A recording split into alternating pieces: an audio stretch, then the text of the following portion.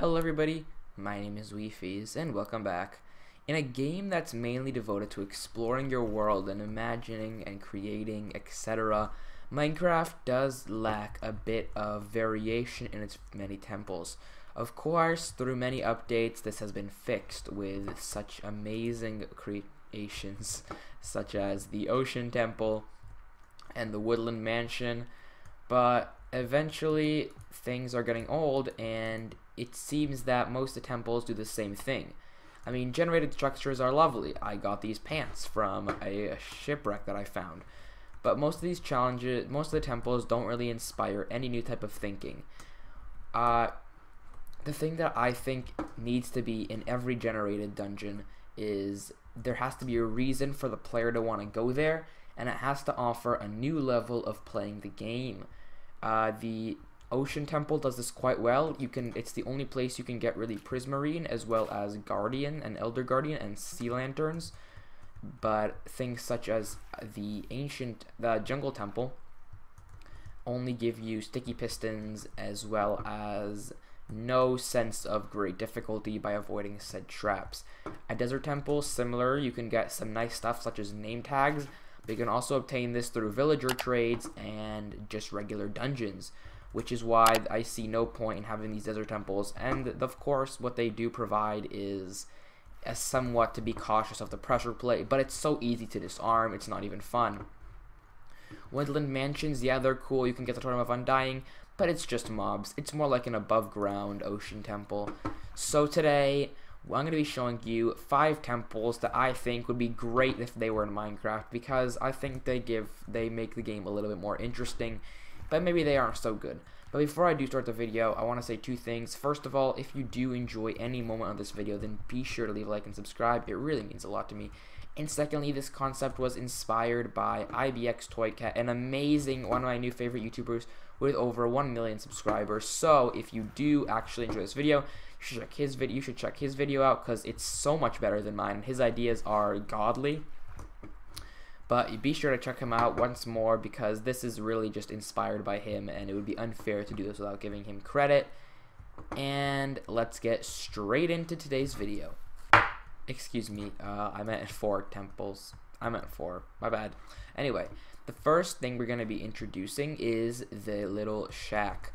Uh, this, this generated constructor can appear on any island, although I'm not a Mojang Pro, and I don't know how they would detect islands. I'm sure it's possible and I can just remove these trousers. Uh, anyway, we have a very nice island. Trust me, it is an island, and unsuspicious at all. That's naturally spawning. If we go down, this is a naturally generated cave. I just made it look nice a bit. And before I do begin, my building skills are awful, so excuse that. Anyway, here we have the nice little shack. Now, be warned, my interior decorating is pretty garbage, but if we do hop inside, we see a nice little bunker. If we hop into this room, we can see a nice little netherwart farm, which gives the player a reason to get in here. Apart from the coral blocks that can litter the outside, as well as a free anvil torch holder, I think it's really cool that you can get some netherwart without going to the nether. Furthermore, you can get a brewing stand, and I put some instant damage potions, although it can be changed to the player's likes, as well as a jukebox, which would normally require one diamond, and I think this is really cool. In the chest, we got some emeralds, because that used to be a currency before but the villagers still use it at least. And I think this is really nice. Under these trapdoors, we do have glowstones, so just another benefit of actually going to these temples. But under this trapdoor, oh, as well as a red bed, because you don't see those much often. And some books. Over here, we have a little basement with another anvil for you. And we're going to go back to the basement. But you also may notice this. Uh, this is the new aspect. So this is the new challenge aspect that I've introduced into temples. And that is the puzzle aspect. Going into this will give you a puzzle. Unlike the Jungle Temple, which has a three lever combination, this has a nine by three by three lever lock. And if you flick these two, you are now in the correct position, but you will notice that if we hop into the basement, there is actually no change. And I want to mention this, this lock, this lever has to be on, like in this position, or else it will not work. But moving on, you may also notice this is empty, and that is because we have to actually flick it to the same position as all the other as this anvil, because this anvil hints at it. So if we actually put the anvil in this position. Wait, okay, maybe I did the wrong position.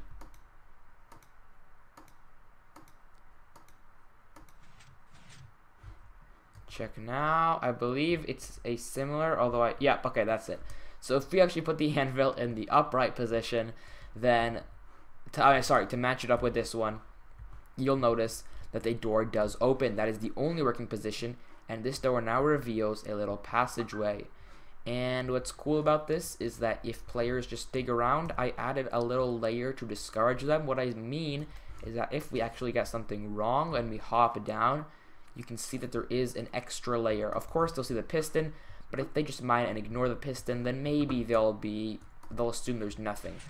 But this very nice little area allows the player to go down, collect yet another anvil, some more glowstone, and an enchantment table. And I do not have anything in this chest, and it is a trap chest for no reason, and as well some books. So I think players would love to find this in the in an island because it's just a little cool structure and it's kind of like a bunker and I think it really adds a lot to the Minecraft lore and other stuff. But tell me your thoughts in the comment section and we're to move on to the next one.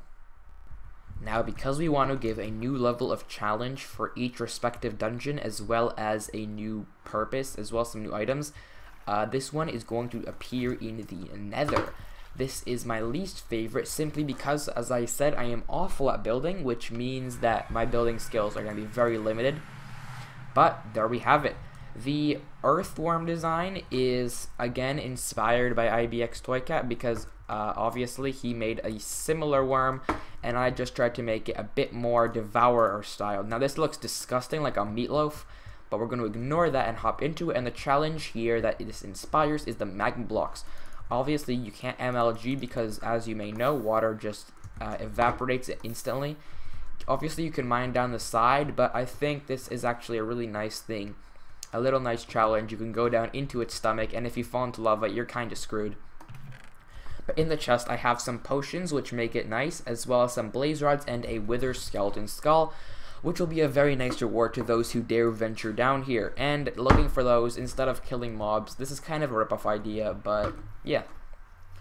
And next one we have popped into a savanna biome and that is because this next challenge is the my personal favorite design this is the savanna temple i don't actually have a name for it but as you might have guessed the challenge it gives is parkour first of all there's no guaranteed way up and the building is quite tall so unlike ibx's birch forest temple if you did watch the video where you can just walk to the top with a few simple blocks this one is a bit more difficult, although you can just pillar up, but really, some people just want to enjoy the game, and I respect that.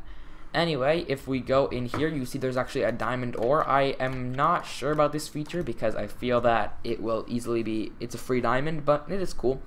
Nevertheless, if we get up, there is no spawnable blocks for mobs in here, so you are perfectly safe because with this torch, I believe, and the parkour is all possible. I tested it before, and I feel like I cannot play parkour while recording. Yeah, okay, we're just we're just gonna pro parkour skills. I like the architecture. The trapdoors is a very limited color palette, but very nice. And now, what I hate about dungeons is that sometimes you can reach the chests by like clicking before even doing the last jump. So I wanted to avoid that because I, as a pro Minecraft player, that was a joke.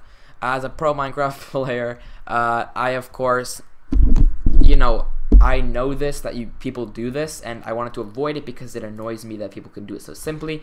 So you actually have to make the last jump, which isn't that difficult, but you can bump your head. And now only when you're on this block is it possible to hit this, get a free jukebox, as well as some arrows of strength where you can throw them upon yourself, as well as a diamond and some music discs. And I think this is a really nice temple because parkour isn't something you get to experience a lot in the game. And seeing one of these in your world will be very nice. And it just looks really cool. I love the architecture. For this final one, we are in the taiga biome. And excuse another portal. But this taiga biome, this was the hardest one to build because I kept failing. And this in the taiga biome, if you may know, wolves spawn. And I thought let's I thought let's make something related to wolves because that'd be cool. And there you have it. The Wolf Cave is the new aspect of the game. So, what have we got here? First of all, we have some pressure plates, and I'm going to avoid these because under these pressure plates is actually TNT, and it blends in with the stone very well. What this inspires, unlike the Desert Temple, is always being on guard. Now, I'm pretty sure the player will notice these pressure plates, and a skilled player, I know there are many out there, will break these pressure plates, and that is fine. But the point is, it gives you the sense of caution, it gives you the aura of, like, you're you don't know. I don't want to say you're scared but you're being more cautious and that's something you don't experience throughout the game much. Maybe when bridging through lava but this temple or thing inspires you to always make sure like where you're looking always be aware of your surroundings and it just makes the player have a new experience that they don't the new feelings they don't experience often in the actual playing of the game which is why I love this temple so much. So if we just walk around these you'll see we actually have a free reward of two wolves and some bone blocks, which are pretty rare, although I do believe you can craft them. I'm not really sure if that works, but I'm not going to test it. Anyway, you get some bone blocks, and we can just walk down here. Be very careful not to walk on this pressure plate, because it's really, you can't tell it's there, and you can just walk on it. It's so easily and blow yourself up. I don't know how you're going to ever walk on that one, but if you're trying to run away, or if I put one here, or on the stairs, or literally anywhere, these just make you cautious, and I think the sense of caution is something you don't experience again, so that's why I think this idea is really cool. Also, you get two free dogs. These doggos will be there for you. I don't think they're going to be tamed. I just had them do this for sitting purposes. And if you actually break this carpet, you see there is a chest, but do not get fooled. Uh, under this trap chest, you may see a gray block, but that is because I recently figured out you can put TNT under a block. So, if we open this chest, uh, the TNT will go everywhere, and I will demonstrate. We're going to get out of here, so hopefully none of us die on the way out. We can just boom, and if we just place, if we just, if we just went really fast, actually I'll demonstrate. So you're walking into the cave, you see like, wow, this guy's not to get me. Look at this noob trap, and then you're just walking down the stairs, and then, yeah. They're not to blow each other up just because the radius thing, but if we open this, obviously it's to blow up.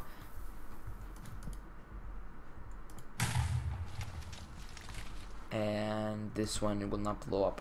But, you know, you get the idea. This list, this isn't probably my favorite dungeon, not because how it looks, because I'm bad at building, but because of how it makes you feel. And those are the four dungeons that I, or structures, that I think would really be beneficial to Minecraft just because they make you feel some new things and they introduce new aspects of challenge into the game and obviously they give you unique rewards.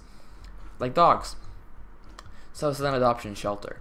So thank you so much for watching this video. If you have enjoyed then be sure to leave a like and subscribe and be sure to check out IBX's channel. He is an amazing YouTuber 100% and I'll see you all next time. Bye.